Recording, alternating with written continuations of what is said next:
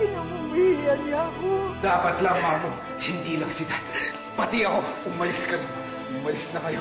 I'm sorry, Apo. Get out! Kanina sa airport, habang papalapit ang papalapit yung pag-alis ko, alam kong palayo ako ng palayo sa'yo. At ang pakiramdam ko, unti-unti ako namamatay. Buting at nahabol ko kayo at dumating si Johan para sabihin ang panining lang na ginagawa sa inyo, Nathan. Katrina, malaya na tayo tanging Diyos lang ang makakapag-iwalay sa ating dalawa. Mahal na mahal kita, Daniel. Higit pa sa buhay ko. Tado ka. Ginago mo kami magkapatid. Ginago mo ako! Eh wala pa ng visa yung kasal niyo ni Katerina eh. Lagi kong sinasabi sa kanya na kaya ka nagagalit dahil asawa ka niya. Panindigan niyo yun dahil ikaw ang asawa. Tandaan mo, na huwag mo sasaktan si Katerina dahil ako mismo ang maglilibing sa'yo. Si Margaret. Ang hilig din gumawa ng desisyon para sa ibang tao. Dahil ayaw niya sa mga babaeng mahal namin. Mabuti na rin yun para kay Daniel at kay Katerina. Ibig sabihin, malaya pala talaga silang magmahal. Hindi nila kailangan pigilan ng sarili nila. Maganda ang gising mo ngayon, ah. Para kasi nagbago yung paligid eh. Mas maganda, mas makulay yung paligid. Saka mas masaya ako ngayon kasi kasama kita. Ikutin ulit natin tong asyenda. Ang ganda nga ng panahon ngayon eh. Parang umaayon sa atin lahat. Sa tingin ko, ito yung hudyat na wala na tayong maging problema.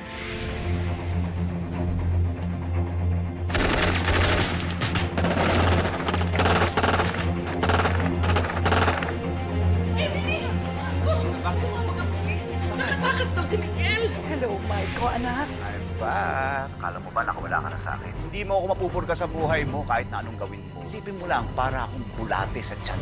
Hindi mo nakikita, hindi mo nararamdaman. Pero nasa looban mo. Unti-unting kinakain yung mga looban mo. Ayoko na makipag-ugnayan sa'yo. Sige, manda ka sa mangyayari. Anong ibig mo sabihin? It's a surprise.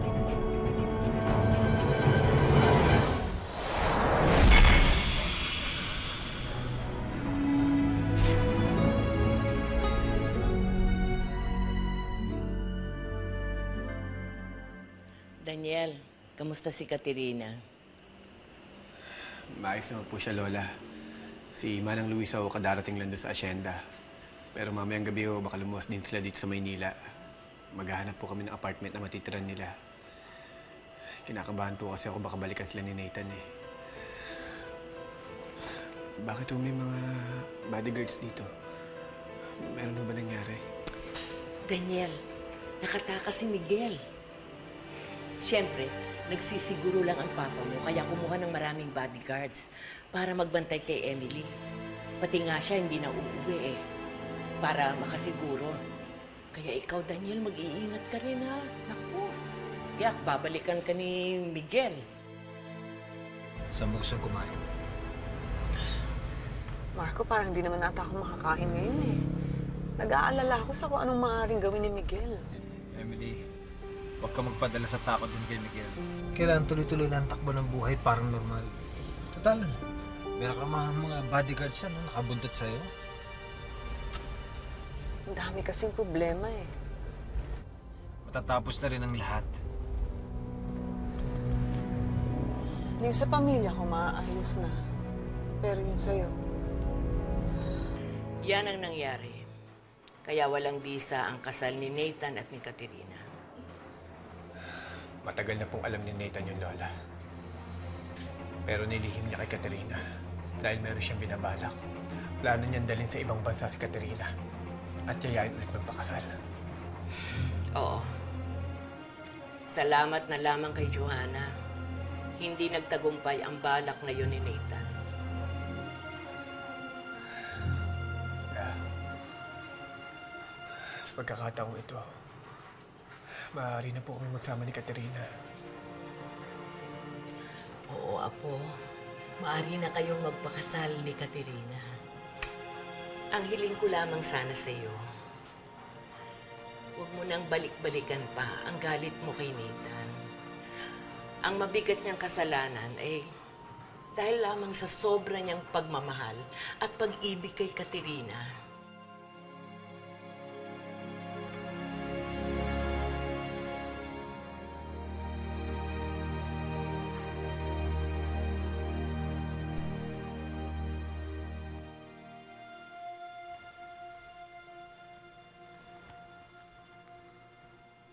Nathan?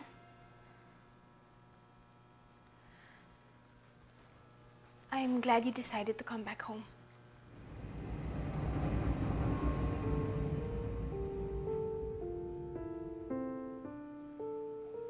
ako para makita mo ako, Johanna.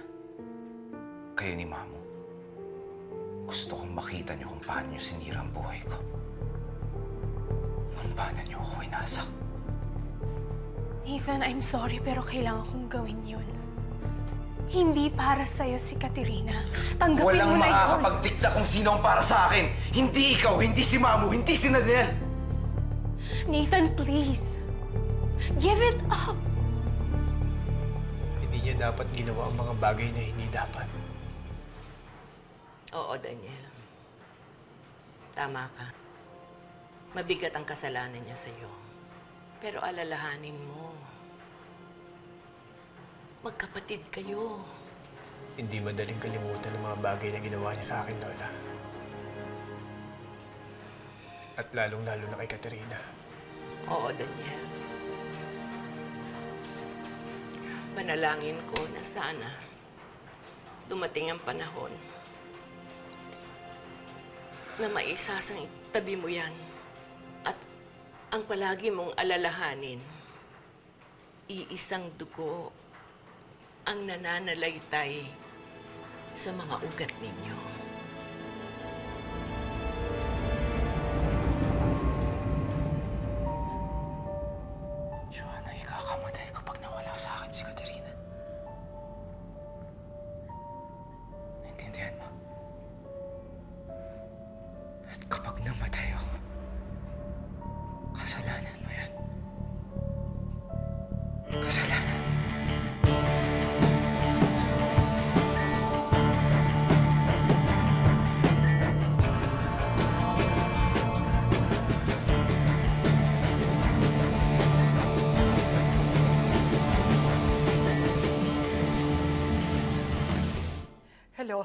Ate Henya. Nandiyan ba si Marco? Wala. Kailangan ko siyang makausap. Nakatakas si Miguel. Wawarningan ko siya dahil sigurado ko na may binabalak si Miguel na masama laban sa kanya. Alam na ni Marco ang tungkol sa pagtakas ni Miguel. Nag-hire na siya ng mga bodyguards para bantayan si Emily. Ate, walang magagawa mga bodyguards sa binabalak ni Miguel. Bakit? Nagkakausap kayo ni Miguel? Kausapin mo na si Margaret, Marco. At saka na lang siguro. Nanay mo pa rin yun. At kahit alam kong galit ka sa kanya, mahal mo pa rin siya. Tawarin mo na. Hello? Oo. Ha? Saan? O sige. Papunta na ako dyan. Bakit? Sino yun? Mga polis. May nag-tip sa kanila. Nakita ko nasaan si Jane. Oo. Tinawagan niya ako. Nagkakausap kayo ni Miguel dahil magkakuntsaba kayo? Ganun ba? Oo, ate. Kung ganon, totoo ang hinala ni Daniel na tinulungan mo si Miguel para magnakaw ng pera sa kumpanya nila. Yung 300 million na yon. Ngayon, kausap mo pa si Miguel. Bakit? Ano ba? Ano bang ginagawa ninyong dalawa? Kasi gusto niyang paghiwalayin ko si Marco at si Emily. Ano kang klaseng ina? Pati anak mo, pinagkanulo mo? Ate, ayoko na sana. Kaya lang binlockmail niya ako. Ipit na ipit ako. Kung bakit mo pa kasi siya kinilala. Ngayon, ipit na ipit ka na. Oh, Margaret, hanggang ngayon hindi ka pa rin nagbabago. Ate, gusto ko magbago. Gustong gusto ko. Pinagsisisihan ko lahat ng mga kasalanan ginawa ko. Ate, tulungan mo ako mag... Tulungan mo ako magbago. Puro satsat ka. Puro salita. Gawin mo.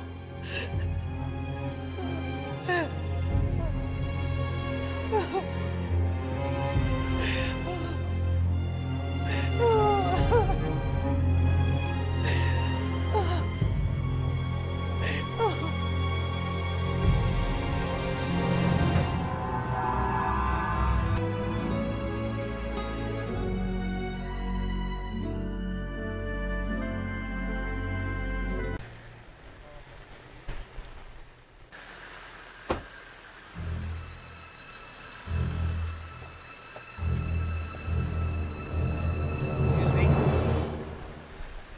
si Marco Montenegro?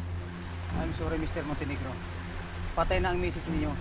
Binaril siya sa likod at inilibing siya sa drum. Pwede ko ba makita ang katawan for confirmation lang? Sir, huwag kayong mabibigla. Marco, Dito ka lang. Pwede pumasok?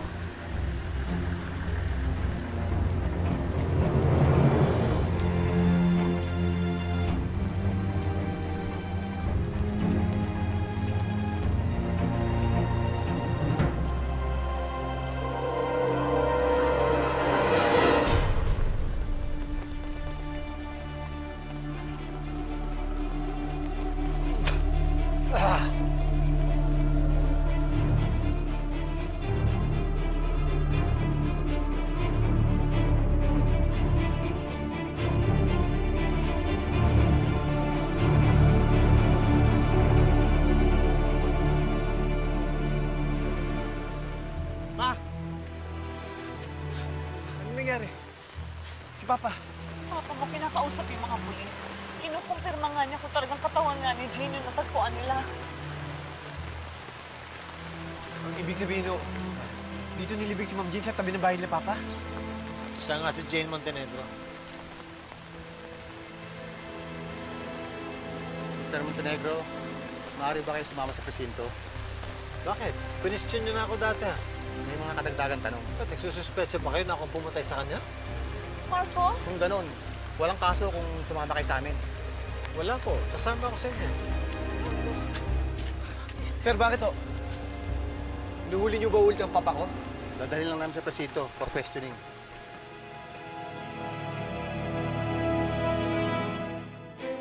Madam, madam. May gulo po sa labas. Matagal lang may gulo sa bahay na to. Eh, sa buhay ko. Miguel, ano na naman? Ang init naman ng ulo mo. Bakit di ka kaya magpahangin? Lumabas ka kaya? Baka matuwa ka sa magandang makikita mo. Ano na namang pakana ito? Basta, lumabas ka lang.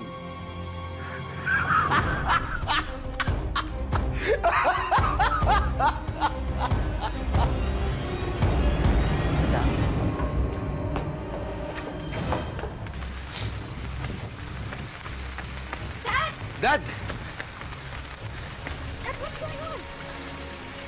Sige. Hindi ako inaaresto. Kikwestiyonin lang ako. Dad, anong klaseng mga tanong? Tungkol sa pagkamatay ni Jane Montenegro. no. Si Mommy, she, she's dead? Teka, pa paano niyo nalaman? Nasaan siya? Nakita namin ang bangkay niya doon.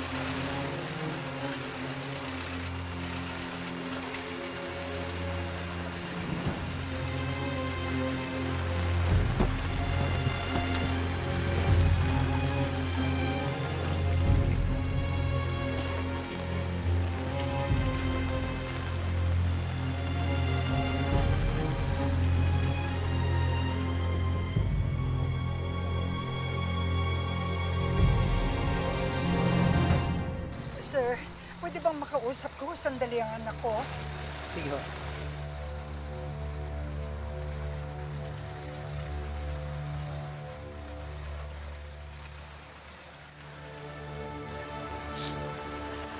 Marco, it's going to be okay. Uh, planted ang mga ebidensyang nahanap nila. Si Miguel ang may gawa ng lahat ng ito. Sandali. Pa- Paano ka nakakasiguro? Nandun ako nung pinatay si Jane. Na-witness ko lahat. After all this time na hinahanap natin ang katawan ni Jane, alam mo na pinatay na siya? I'm sorry. I'm sorry, Marco. I'm sorry. It's all my fault. Oh, it's really your fault. Thank you for ruining my life, Ma.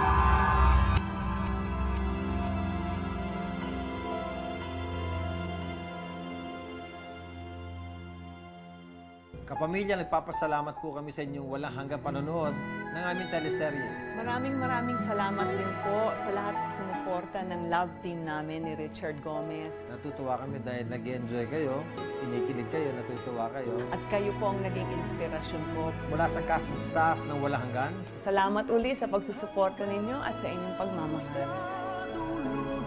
The Philippine Phenomenon. Walang hanggan. Mga exclusive behind-the-scenes happenings na di dapat palampasin ngayong week sa Walang Hanggan TV. Log on na sa www.abs-cbn.com to watch the full webisodes of Walang Hanggan TV. Gabi-gabi natin siyang sinusubaybayan bilang Daniel sa Walang Hanggan. At ngayon, muli natin siyang panoorin bilang Rex sa pelikulang Born to Love You na mabibili na in DVD and VCD in all leading record bars nationwide.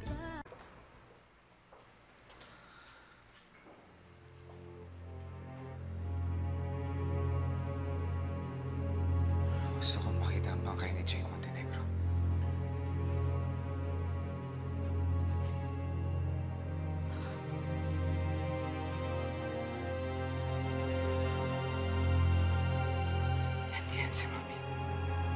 I'm sorry po, pero na-confirm na ni Mr. Marco Montenegro ang banghay. I don't care kung anong ginawa niyo sa kanya. Hindi siya ang mami ko! Hindi yan ang mami ko!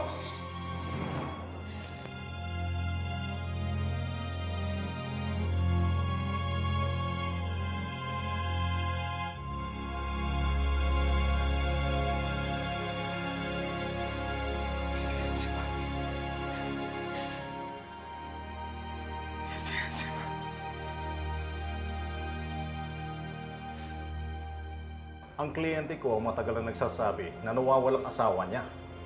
Eh siya mismo naghahanap dito eh. Ba't niya naman gagawin yon kung pinatay niya si Jane? Kaya lang, nakakuha namin ito sa loob ng drum. Nakikilala niyo ba yung relo na yan, Mr. Montenegro? Huwag mo sagutin, Marco. Kahit hindi siya magsalita, alam namin kay Mr. Montenegro ito. Naka-engrave dito sa likod. Bigay ito ng misis niya. Eh wala pa rin ibig sabihin yan. Pero nasa loob ng drum. Malamang, nung manlaban si Jane, inablot niya ito. Kaya naputo lang strap. Pero hindi pa rin yan sapat na ebidensya para madiin ang kliyente ko. Nakakuha kami ng search warrant laban sa mga ari-arian niyo at sa bahay ninyo, Mr. Montenegro. At nakakuha kami ng ebidensya sa kotse ninyo. Ito. Nakalagin dito ang mga text na pinapadala niya sa pamilya niya. Nasa inyo ang cellphone na yan, Mr. Montenegro. Ibig sabihin yan, kayo ang nagpapadala ng mga text na yon. Kayo ang pumatay kay Jane Montenegro. Hindi totoo yan. Plinat niya sa kotse ko. Hindi totoo yan. Dito, tama na, tama na. Alam niyo, buong araw niyo hinold ang kliyente ko. Tapos ng interview.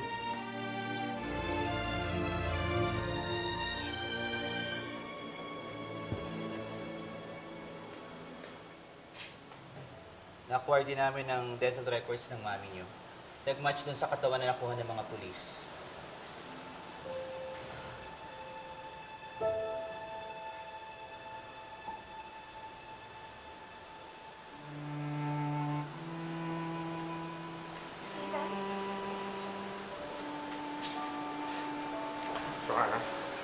Nathan, is it true?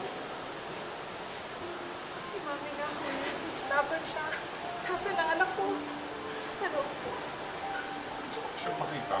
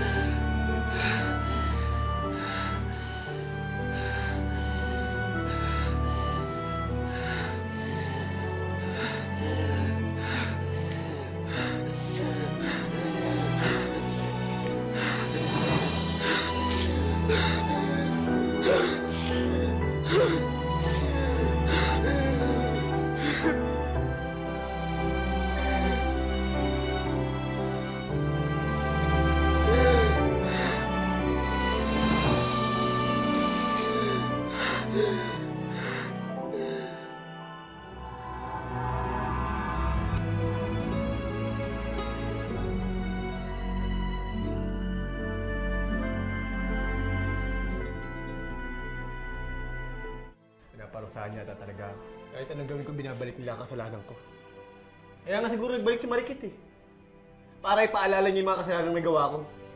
Ano bang balak mo sa anak ko? I-display siya. Dapat pester siya ng mga chismosa at mga chismosa. Sa tingin mo ba talaga nagmimilagro si Marikit? Pwedeng siya, pwedeng anghel, pwedeng... Demonyo? Kasi nagbuhay kami ng kasalanan, kaya nagbunga din ng kasalanan. Pinag-usapan kayo ng buong bayan. Pinahiya niyo kami. Sa tingin niyo ba yung nangyayari sa buhay namin, hindi pa kabayaran yun? Hindi pa ba ako nakakabawi?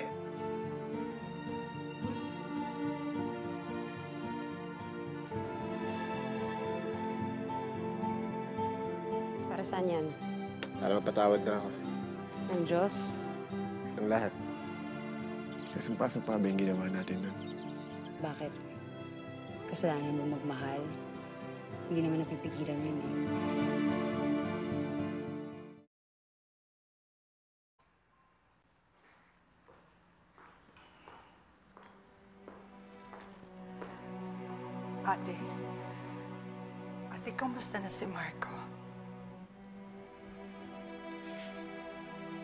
Ano sa tingin mo? Gusto ko sana siyang puntahan. Pero, tatakot ako.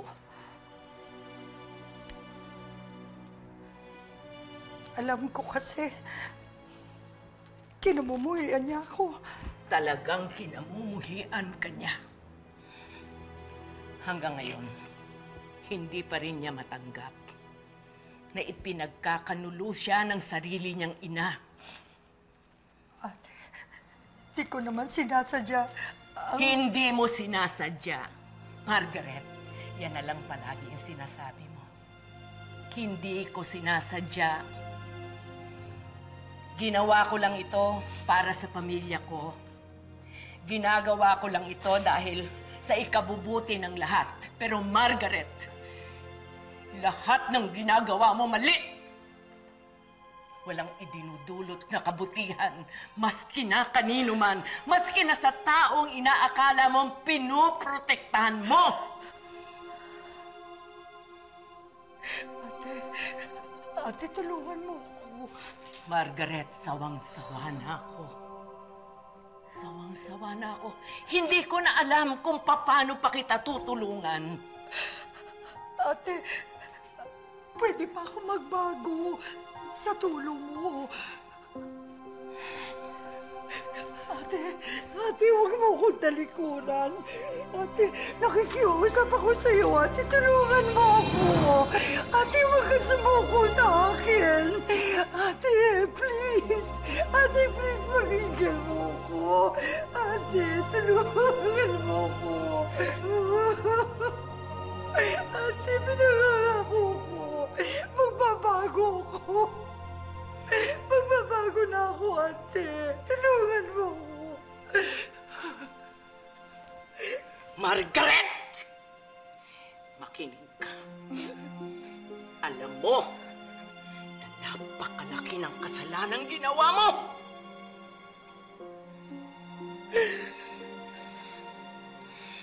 Hindi sapat na basta iyakan mo lang ang lahat ng yan.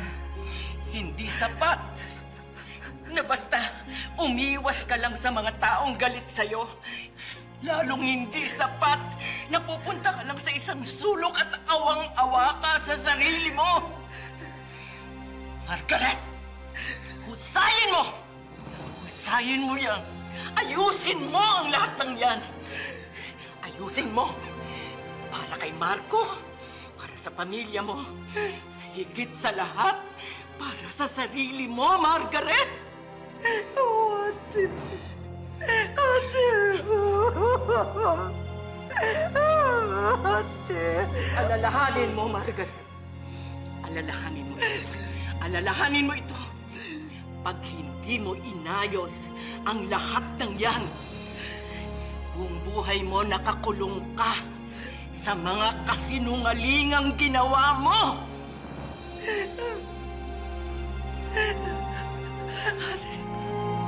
Ate.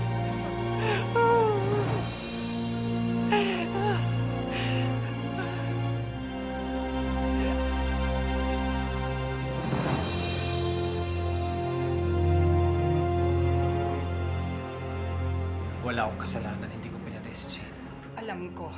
si Miguel ang may kagagawa ng lahat ng ito. Nandun ako nung pinatay niya si Jane.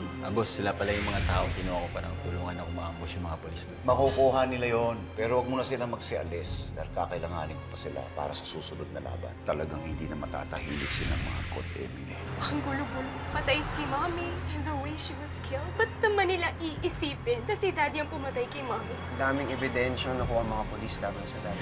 Patawarin mo Daniel. Hindi ko siya dapat hinusgahan. Dapat napigilan ko siyang umalis. Iniisip ko kasi na siya yung sanhin ng gulo ninyo ni Nathan. Pero sino ba naman ako para magsalita? Pareho naman kami ni Katerina.